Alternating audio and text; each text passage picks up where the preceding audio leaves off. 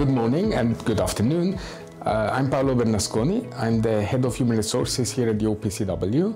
And I would like to present to you our exciting internship program that we have here at the OPCW. Um, I will be, you will actually hear from me, but also from current interns, what the internship program is all about, what you will be doing, what benefits you actually will get out of the internship program, and lastly, of course, most importantly, how do I actually you apply for the internship program. The Organization for the Prohibition of Chemical Weapons is the global authority for chemical weapons. We have 193 member states and the task is the implementation of the Chemical uh, Weapons Convention. The internship program at the OPCW is geared towards um, recent graduates or students enrolled in um, undergraduate or graduate studies. It's quite an exciting program because you will be with interns from all over the world, literally from like all countries in the world, uh, in a very multilateral, multicultural aspect, and you will be working to rid the world of chemical weapons, make your contribution to the world a safer and better place. The working language at the OPCW is English. Um, so you need a good command of English, both written and spoken. Uh, of course, if you know uh, any of the other five uh, languages of the OPCW, uh, French, uh, Chinese, Russian, Arabic, and Spanish, uh, then that's of course an advantage and gives your candidature an additional asset.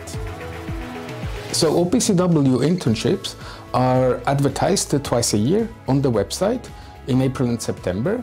So candidates can go on the website and apply directly for an internship and can choose uh, three branches where they would like to do their internship, human resources, external relations, communications, policy. So you pick whichever branch you feel your profile best matches to.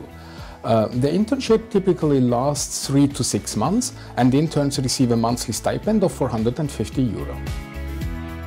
OPCW internships are indeed uh, highly competitive. So when you apply for an internship, you need really your application to stand out from the mass of candidates that we receive. And how do you do that? So first of all, you need to clearly spell out in the application the motivation you have, uh, the enthusiasm and the passion, and why actually do you want to do an internship at this stage in time in your life, but also exactly with OPCW, what fascinates you with OPCW.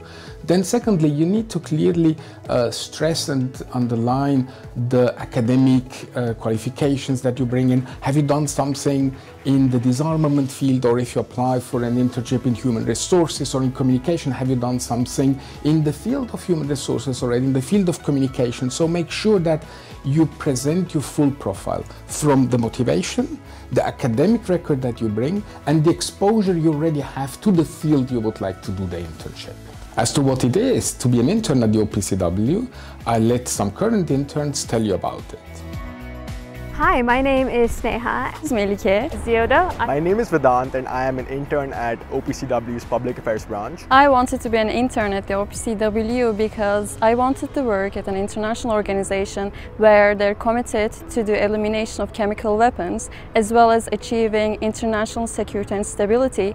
I was also impressed by OPCW's respect to gender parity and gender balance. I decided that I wanted to be an intern at the OPCW after visiting the Hague International Open Day in 2018. I had a chance to visit the technical secretariat. I had an opportunity to speak with some of the current interns. One of the great things of working at the OPCW is that they, organize regular trainings and uh, workshops for their employees which are also open to interns and as a result I've gained a lot of insight and extra knowledge on disarmament issues as well as what goes behind the effective implementation of the Chemical Weapons Convention. My responsibilities as an intern consisted of first of all setting up the new HSB SharePoint site where I migrated all material from the old website and put it together to make a newer and better website for the branch.